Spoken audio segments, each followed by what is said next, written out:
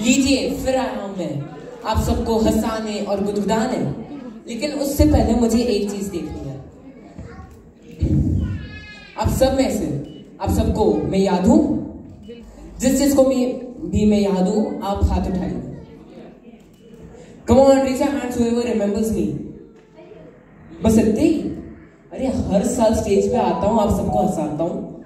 नाम तो याद ही होगा।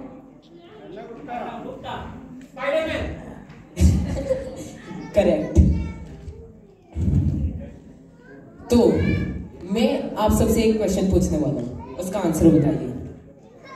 Out of all the nations this one nation which is hated the most. Which one is it? आपको पता? है आपको? हाँ हाँ।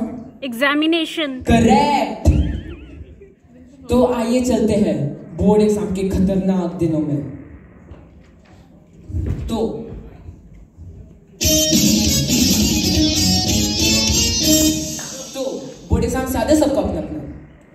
एग्ज़ाम्स में एक अंडर टेन रूल था राइट जितने मार्क्स का क्वेश्चन उतना लंबा answer like if the question is why did Ram kill Ravana and if it's of two marks then Ram killed Ravan because Ravan kidnapped Sita. What if it's of five marks? Once upon a time there was a king named Ram.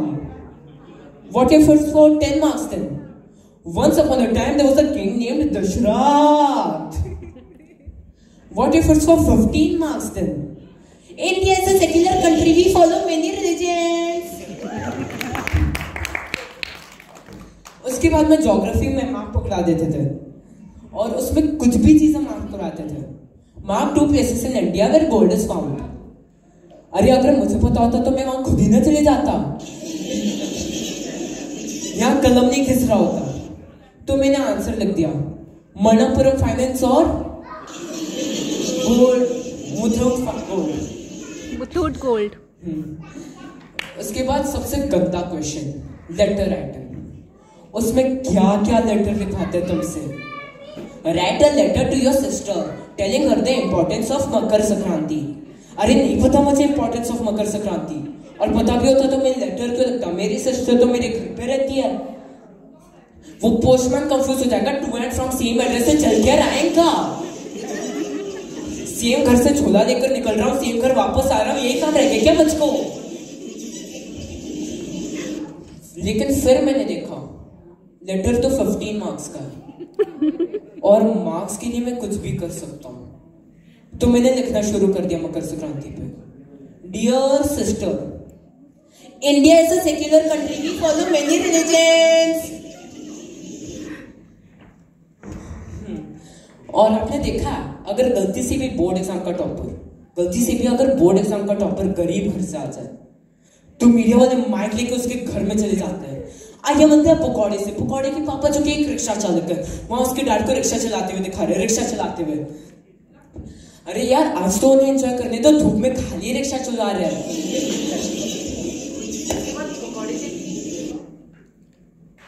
उसके बाद पकौड़े के room में घुसता। है वहाँ पकौड़ा बैठा होता है और वो कुछ पढ़ रहा होता है पढ़ रहा होता है पढ़ रहा होता है पढ़ते जा रहा है पढ़ते जा रहा। है अरे यार बोर्ड एग्ज़ाम खत्म हो गया, अब क्या पढ़ रहा है ये? पूरे कॉलेज का कोर्स इसी साल खत्म करना है क्या? किसको बुद्धू बना रहे ये? लेकिन हाँ अगर एक गरीब घर का बच्चा बोर्ड एग्ज़ाम टॉप करता है तो वो अचीवमेंट है। लेकिन इतनी बड़ी अचीवमेंट नहीं है। अगर कोई अमीर घर का बच्चा हो, जिसके पास बाइक है घुमाने को इंटरनेट है नेटफ्लिक्स का अकाउंट है, उस डिस्ट्रैक्शन के बाद अगर वो टॉप कर रहा है तो वो असली अचीवमेंट है यार। मतलब जंगल में तो कोई भी तपस्या कर लेगा जो एक गोवा जैसी माया नगरी में तपस्या कर रहा है वो असली साधु है यार